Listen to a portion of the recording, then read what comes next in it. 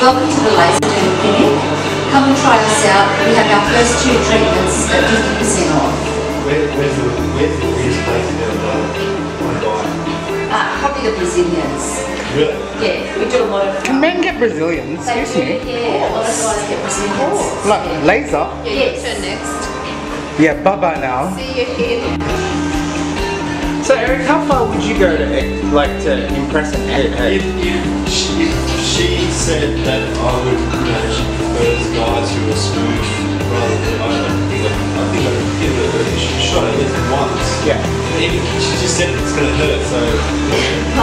you need pain, isn't that what they say? That's right. No pain, no gain. Well, I mean, it's amazing how much crap girls do to you know, go through behind the scenes and guys don't know That's true, Sylvie, It right? is true. So, you know, Although a lot of guys now, they're also experiencing that, you know, what they have to go through. Men, men, a lot of men have monobrow. A lot of men do cheekbones, really? um, the neckline, monobrow, cheekbones. Oh, you mean like this up here, this, yeah, this here?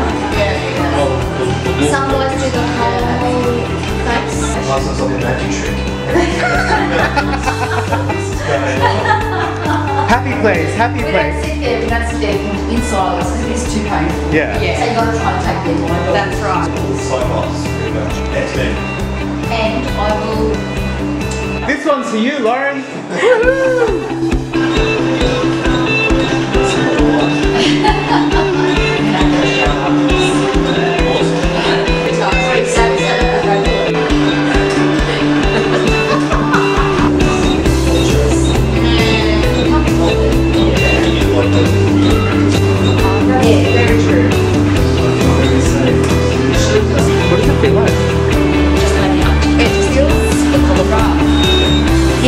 六十